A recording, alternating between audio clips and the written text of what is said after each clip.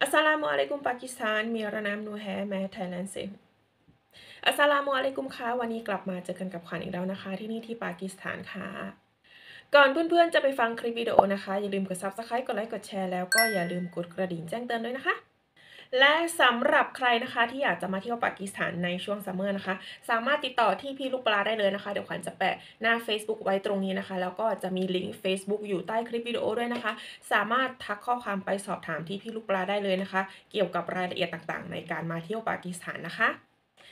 และนี่เลยนะคะสำหรับเพื่อนๆคนไหนที่อยู่ปากีสถานแล้วอยากจะกินข้าวเหนียวนะคะ สามารถสั่งกันเข้ามาได้เลยนะคะ1กิโล900 รูปีไม่รวมค่าส่งนะคะ และสำหรับใครนะคะที่กำลังจะเดินทางมาจากไทยนะคะ ไม่ต้องหิ้วข้าวเหนียวมาให้หนักกระเป๋านะคะ มาซื้อเอาที่นี่ก็ได้นะคะ สั่งวันนี้มีของแถมด้วยนะคะ และสำหรับวันนี้นะคะขวัญก็มีเรื่องจะมาเล่าให้เพื่อนๆฟังอีกเช่นเคยนะคะ จะเป็นเรื่องอะไรนั้นเรามาฟังกันเลยนะสำหรับเรื่องที่ขวัญจะมาเล่าให้ฟังในวันนี้นะคะ มันก็ไม่เชิงว่าเป็นเรื่องเล่านะคะ แต่ก็คือแบบอยากจะฝากถึงทุกๆ คนนะว่า อย่าฝึกตัวเองนะคะ ให้เป็นคนที่เข้าใจอะไรยากนะคะ ซึ่งเราเนี่ย ก็เป็นคนคนหนึ่งเหมือนกันที่นะคะ แต่ก่อนนะขวัญนะเป็นคนที่เข้าใจอะไรยากมาก ไม่ว่าจะเป็นการเรียนเอ่ยเรื่องต่างๆนานาเอ่ยแต่ณปัจจุบันเนี้ยเรานะคะต้องเปิดใจนะคะยอมรับต้องเปิดใจยอมรับนะคะ ซึ่งขวัญจะมาพูดให้ให้ฟังในวันนี้ก็คืออ่าระหว่างคนไทยบ้านเรานะคะกับคนปากีสถานนะคะ เราอะจะต้องเปิดใจยอมรับนะคะว่าเขากับเรานะมันคนละสังคมกัน เพราะฉะนั้นนะคะเราต้องแยกให้ออกนะคะว่าเขากับเราเป็นแบบไหนนะคะ เพราะฉะนั้นอย่าฝึกตัวเองเนี่ยให้เข้าใจอะไรยาก อย่าฝึกตัวเองให้เป็นคนที่เข้าใจสังคมยาก อย่าฝึกตัวเองให้เข้าใจคนอื่นยาก เพราะฉะนั้นเนี่ยเรานะคะจะต้องเปิดใจยอมรับนะคะว่า สิ่งที่เราเจอสิ่งที่เราเห็นสิ่งที่เราประสบมา มันไม่ได้ประสบกับเราไปตลอดชีวิต เพราะฉะนั้นเนี่ยมันเป็นแค่ประสบการณ์ที่ผ่านมาแล้วก็ผ่านไป เราจะต้องเข้าใจนะคะว่าโลกปัจจุบันนี้ มันไม่ได้เหมือนแต่ก่อนโลกปัจจุบันนี้มันมีอะไรต่างๆนานาที่เราไม่คาดคิดเลยว่ามันจะเกิดขึ้นกับเรา หรือว่ามันจะเกิดขึ้นกับคนรอบข้าง เพราะฉะนั้นสิ่งที่เราทำได้ก็คือต้องเปิดใจยอมรับนะคะขันถึงบอกว่าถ้าเกิดว่าคนบ้านเราเนี่ยได้มาสัมผัสจริง ๆ ในจุดจุดนั้น เขาจะรู้ว่าคำตอบมันคืออะไร เพราะฉะนั้นตราบใดที่เรานะคะยังไม่ได้ไปสัมผัสยังไม่ได้ไปรู้ว่า จุดจุดนั้นน่ะที่เขาอยู่กันน่ะมันเป็นยังไงอย่าไปตัดสินเขาว่ามันเป็นแบบนี้มันเป็นแบบนั้นมันเป็นแบบโน้นเราสามารถคิดได้นะ แต่ไม่ต้องประจานเขาออกไปหรอกว่าเขาเป็นอย่างนั้นเขาเป็นอย่างนี้ เราไม่มีสิทธิ์ไปประจานเขาเขาก็ไม่มีสิทธิ์มาประจานเรา ราะมันเป็นเรื่องของเราไม่ใช่เรื่องของเขา ถ้ามันเป็นเรื่องของเขามันก็ไม่ใช่เรื่องของเรา เพราะฉะนั้นเนี่ยทุกคนหาขวัญเข้าใจนะว่า เรากับเขามันอยู่คนละสังคม เพราะฉะนั้นเนี่ยอย่าเหมารวมนะคะว่าทำไมเขาถึงเป็นแบบนั้นทำไมเขาถึงเป็นแบบนี้ทำไมเขาไม่เหมือนเราทำไมเขาต้องทำแบบนั้นด้วยทำไมเขาต้องทำแบบนี้ด้วย อ้าว ถ้าเกิดว่าเขามีคำถามกับเราบ้างว่า เอาทำไมเธอทำแบบนั้นล่ะทำไมเธออยู่แบบนั้นล่ะทำไมเธอกินอันนี้ล่ะ บ้านฉันกินไม่ได้นะทำไมเธอกินของสิ่งนั้นน่ะ แต่บ้านฉันอะ กินไม่ได้นะทำไมเธอมีของแบบเนี้ย แต่บ้านฉันน่ะมีไม่ได้นะอ้าวเห็นไหม ถ้าเกิดว่าเขามีคำถามกับเราอย่างเงี้ยแล้วเราอะ จะไปตอบเขายังไง เพราะฉะนั้นอย่าจะเราอะอย่าอย่ามีคำถามกับเขาเยอะ ดีคือดีไม่ดีก็คือไม่ต้องมีเลย รู้ไว้ใช่ว่าใส่บ่าแบกหาม คือสุภาษิตนี้มันยังใช้ได้นะคะ ทุกคนค่ะ ซึ่งเราเนี่ยเรียนรู้ได้นะ เรียนรู้ที่จะอ๋อเขาเป็นแบบนี้เหรอเขาใช้ชีวิตแบบนี้เหรอ อ๋อ มันต่างกับเราตรงนี้นะโน่นนี่นั่น ไม่ว่าจะเป็นสถานที่สภาพอากาศผู้คนการเป็นอยู่ขนบธรรมเนียมประเพณีวัฒนธรรมต่างๆ เรื่องของศาสนาก็ไม่เหมือนกันนะคะเพราะฉะนั้นอย่าเอาเขากับเรามาเปรียบเทียบกันนะมันมันมันไม่ใช่เรื่อง เพราะฉะนั้นเนี่ยอย่าฝึกตัวเองให้เข้าใจอะไรยากนะคะถ้าเกิดว่ามัวแต่ไปแบบเอาเรื่องของคนอื่นมาใส่ตัวเองแบบ ไม่เข้าใจสักทีอะเข้าใจไหมไม่เข้าใจเขาสักที แล้วเมื่อไหร่จะเข้าใจตัวเอง เมื่อไหร่เราจะเข้าใจตัวเองนะคะ ถ้าเกิดว่าแบบมัวแต่ไปนั่งจ้องแต่คนอื่นว่าแบบเออทำไมเขาเป็นแบบนั้นทำไมเขาเป็นแบบนี้ เมื่อไหร่เขาจะแบบทำเหมือนเราเอ้าเขาจะมาทำเหมือนเราได้ไง ก็เป็นคนละคนกัน ก็เป็นคนละสังคมก็เป็นคนละที่กันเขายังไม่ได้มาทำเหมือนเราเลย เออนะคะเพราะฉะนั้นเนี่ยอย่าอย่ามีคำถามกับเขาเยอะ ถ้าเกิดว่าเขามีคำถามกับเราแล้วเราจะตอบยังไงนะฮะเพราะฉะนั้นนะคะ อย่าเข้าใจอะไรยาก ถ้าเกิดว่าเราไปรู้อะไรมานะคะ ไปเจอสิ่งสิ่งหนึ่งมานะคะอะอ๋อเปิดใจยอมรับว่าเขาอะเป็นแบบนั้น เออเขาเป็นแบบนั้นอยู่แล้ว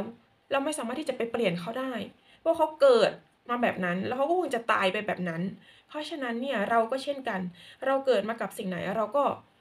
คือชินอยู่กับสิ่งนั้น ยกเว้นเสียแต่ว่าเราจะเดินออกมาจากจุดจุดนั้นที่เราเคยอยู่ เดินออกมาแล้วไปอยู่ในสังคมที่เราไม่เคยอยู่ แล้วก็เปลี่ยนจากสังคมที่เราเคยอยู่ไปอยู่แบบเขา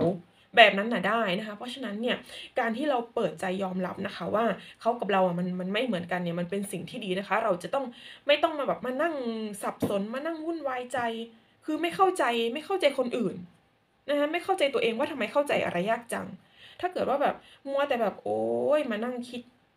ไม่ตกสักทีเนี่ย ก็เดินไปไหนไม่ได้หรอกค่ะอยู่อย่างนั้นแหละจริง ๆ นะ เพราะฉะนั้นแล้วเนี่ยขวัญก็ฝากถึงนะคะ ฝากถึงคนที่เข้ามาคอมเมนต์ใต้คลิปวิดีโอขวัญที่แบบว่าเอาความคิดตัวเองเป็นใหญ่ ขวัญไม่ได้บอกว่าคอมเมนต์มันผิดหรือคอมเมนต์คอมเมนต์มันถูกนะคะ แต่นะคะขวัญนะเอาคอมเมนต์นั้นมาปรับปรุงเพราะว่าอะไรรู้ไหมสิ่งไหนที่มันดีขวัญก็จะเอามาอะเป็นแรงผลักดันให้ตัวเองได้ทำคลิปวิดีโอต่อถ้าเกิดว่าเอามาคอมเมนต์แบบไม่ดีมันไม่ได้แบบทำให้ขวัญแบบ ดีขึ้นมาเลยขวัญก็ไม่ได้สนใจนะ แล้วขวัญไม่ได้เดือดร้อนด้วยว่าจะมาคอมเมนต์อะไรนะคะ ซึ่งนะคะขวัญบอกเลยนะคะ ว่าถ้าเกิดว่าคุณจะมาคอมเมนต์อะไรที่ไม่ดีหรือว่าแบบ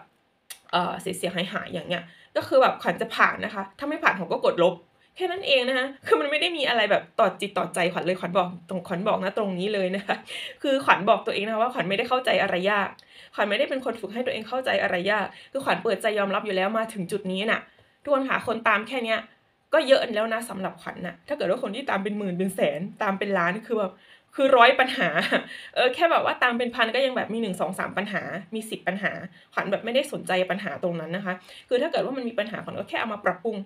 เออแค่นั้นเองนะคะ ถ้าเกิดว่ามันแบบเออเป็นสิ่งที่ขวัญรู้ว่าอะ คอมเมนต์นั้นน่ะมันทำให้ขวัญแบบอ๋อมันมันมันมันมันไม่ถูกต้องสำหรับขวัญนะมันไม่ดีมันไม่ขวัญก็จะมาปรับปรุงตัวเองถ้าเกิดว่าแบบมาคอมเมนต์แล้วแบบทำให้แบบรู้สึกไม่ดีขวัญก็ไม่ได้สนใจนะขวัญเขียดทิ้งนะจริง ๆ อันนี้เรื่องจริงนะขวัญเขียดทิ้งไปเลยขวัญไม่ได้สนใจนะเออขวัญอ่านแต่ขวัญแบบอืมทำไมอะ ก็ฉันทำในสิ่งที่ถูกก็คือฉันไม่ได้สนใจคอมเมนต์นั้นอะไรเงี้ยเพราะฉะนั้นถ้าเกิดว่าคุณจะเข้ามาคอมเมนต์อะไรที่มันทำให้รู้สึกว่าแบบ จะทำให้ขวัญแบบเฮิร์ตทำให้ขวัญแบบโกรธอย่างเงี้ยคุณฝันไปเลยนะคะ ไม่มีทางนะเออนะคะเพราะฉะนั้นเนี่ยคือคอมเมนต์อะไรที่ลบๆอะขวัญไม่ได้สนใจหรอกไม่ได้เอามาใส่ใจด้วยซ้ำนะคะ เพราะว่าขวัญเป็นคนที่ไม่ได้เข้าใจอะไรยากนะคะเพราะฉะนั้นขวัญก็อยากฝากถึงทุกๆคนนะคะ อย่าเข้าใจอะไรยากในสิ่งที่เวลาที่ขวัญพูดไปสื่อไป ถ้าเกิดว่าไม่เข้าใจอะข้อความมาหาขวัญเลย ถามขวัญเลยนะคะ เออถามขวัญเลย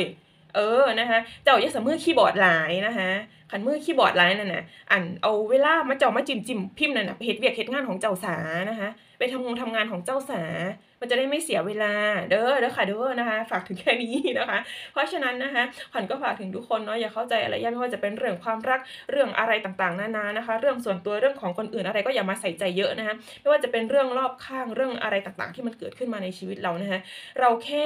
เข้าใจแล้วก็ยอมรับมันนะคะถ้าเข้าใจอะไรยากคุณก็จะหาทางออกไม่เจอนะคะ เพราะฉะนั้นสู้ๆนะคะทุกคนค่ะใครที่กำลังเจอปัญหาเนาะผู้พูดเนี่ยที่มานั่งอยู่ตรงนี้เนี่ยไม่ใช่ว่าไม่มีปัญหา ไม่ใช่ว่าไม่มีเรื่องให้คิด ไม่ใช่ว่าไม่มีอะไรที่ไม่ทำให้ไม่สบายใจแต่คือแบบขวัญไม่ได้เป็นคนที่มานั่งกัดกลุ่มว่าโอ๊ยจะหาทางออกยังไงจะทำยังไงให้ชีวิตดีขึ้น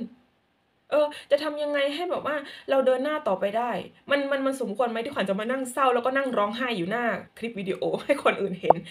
มันสมควรไหมที่แบบว่าจะต้องมาอัดคลิปวิดีโอแล้วร้องไห้อ่าสมควรไหมที่จะแบบว่ามานั่งเศร้าแล้วก็โพสอะไรเศร้าๆลงใน Facebook มันไม่จำเป็นนะคะมันไร้สาระมากสำหรับขวัญน่ะณณจุดจุดนี้นะขวัญไม่รู้ว่าขวัญจะแบบทำอย่างนั้นไปเพื่ออะไร